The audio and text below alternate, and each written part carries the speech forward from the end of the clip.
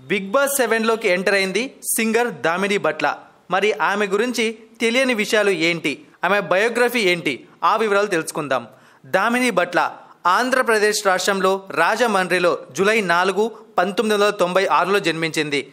తండ్రి పేరు రాధాకృష్ణ తల్లి పేరు శ్రీ ఝాన్సీ. దామిని రాజమండ్రిలో జన్మించినా కూడా తర్వాత వాళ్ళ కుటుంబం హైదరాబాద్ వచ్చి స్థిరపడింది. చిన్నప్పటి నుండే సంగీతం మీద ఆసక్తితో శాస్త్రీయ సంగీతం నేర్చుకుంది ధామిని సరిగమప పాడుతా తీయగా వంటి కార్యక్రమాల్లో సత్తా చాటి సినిమాలకు పాటలు పాడే అవకాశాలను అందుకుంది. ఏఆర్ రెహమాన్ ఇలై రాజా దేవిశ్రీ ప్రసాద్ హరీష్ జైరాజ్ మనీష్ శర్మ వంటి స్టార్ మ్యూజిక్ డైరెక్టర్లతో దామిని కలిసి పనిచేసింది. బాహుబలిలో పచ్చబొట్టేసిన సాంగ్ పాడటంతో దామినికి మంచి గుర్తింపు వచ్చింది. తెలుగు తమిళ్ కన్నడలో కూడా పలు పాటలు పాడింది దామిని. రీసెంట్గా గాడ్ ఫాదర్లో దామిని పాడిన బ్లాస్ట్ బేబీ సాంగ్ కూడా ఎంతో ఫేమస్ అయింది.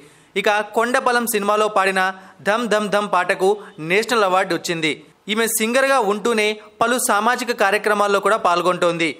హౌస్లో అడుగు పెడుతూనే తనకు భక్తి చాలా ఎక్కువని దేవుని కోసం గుండు కొట్టించుకోవడానికి సైతం వెనకాడనని చెప్పేసింది.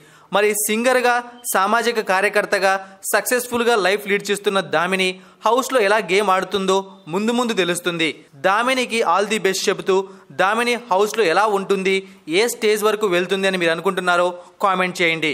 Bigg Boss updates and reviews కోసం మా ఛానల్ని సబ్స్క్రైబ్ చేసుకోవడం మర్చిపోకండి.